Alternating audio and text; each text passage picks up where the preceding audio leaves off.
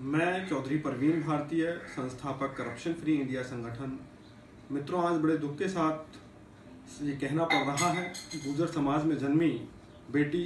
रानी नागर, जो हरियाणा सरकार में 2014 कैडर की आईएएस ऑफिसर हैं, पिछले दो वर्ष से 2018 से हरियाणा सरकार का एक ऑफिसर उनका और उनकी बहन का उत्पीड़न कर रहा है, जिसको लेकर के पहले भी कई बार उन्होंने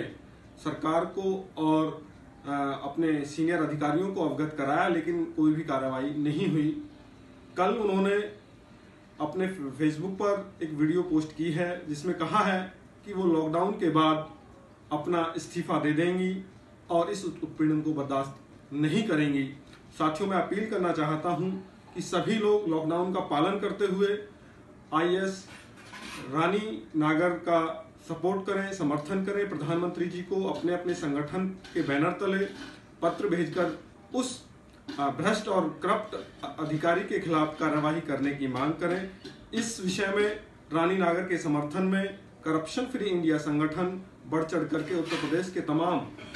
जनपदों से हम लोग जिलाधिकारी के माध्यम से प्रधानमंत्री महोदय जी को ज्ञापन भेज करके उस भ्रष्ट अधिकारी के खिलाफ कार्यवाही की मांग करेंगे और हम राहनी नागर का समर्थन करते हैं।